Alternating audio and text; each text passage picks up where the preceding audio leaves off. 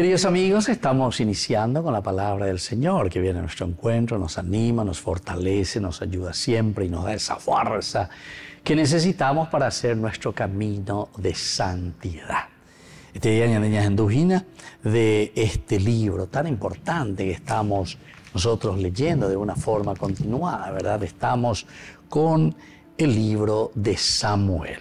Es el segundo libro de Samuel, capítulo 1 versículos 1 al 4, luego el 12, el 17, del 23 al 27. Después de la muerte de Saúl, David volvió a derrotar a los amalecitas y permaneció dos días en Siclag. Al tercer día llegó un hombre del campamento de Saúl con la ropa hecha girones y la cabeza cubierta de polvo. Cuando se presentó ante David, cayó con el rostro en tierra y se postró. ¿De dónde vienes? Le preguntó David. Él le respondió me he escapado del campamento de Israel. David añadió, ¿qué ha sucedido?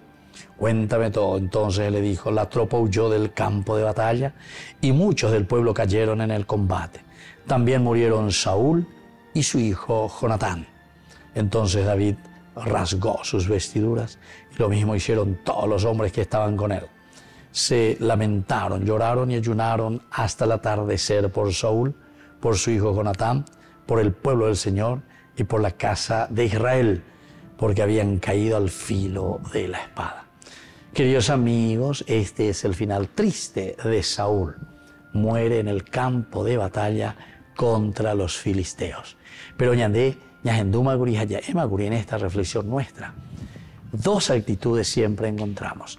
Peña Moñe Maoe, capítulo 9 del libro de Samuel, se nos presentaba a un Saúl muy orgulloso a un Saúl que más o menos ojendu wa ube de yarañe ebe no ojendu se yo ya peja e llegó ya por la olla posea hate que uno entende se ya te no entende yo y peña de yara oye reswe hate oí la ñande ay ya la cristiano haña hendu wa ube de yarañe e ya e wa la cristiano ha pero pe otro lo ite ya pi decimos que somos de Dios decimos que estamos con el Señor y después votamos a favor del aborto.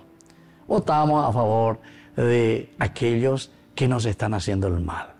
Entonces, esto en términos eh, de la literatura y del diccionario se dice masoquista. ya escape, yo ahí añade en manaoya, ya sufrí, sea o pepe, ah, porque ya sufrí.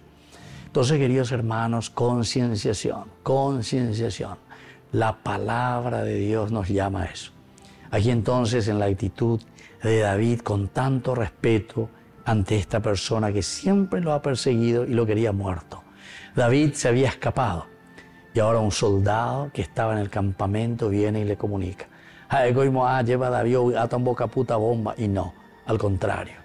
Demuestra una actitud verdaderamente de respeto y dice, qué pena, qué pena, cómo me duele mucho la muerte de este hombre que me ha perseguido, que ha luchado y que ha utilizado todos los bienes de su reino, del Estado, para perseguirme a mí. Pero sin embargo, hace duelo, llora por él y también respeta su muerte. Queridos amigos, pidamos esa gracia para nosotros, sobre todo de tomar conciencia de cuál es el camino del respeto, del amor, de la honestidad que necesitamos para nuestra vida, para nuestra familia, para nuestra iglesia. El Padre, el Hijo y el Espíritu Santo. Amen.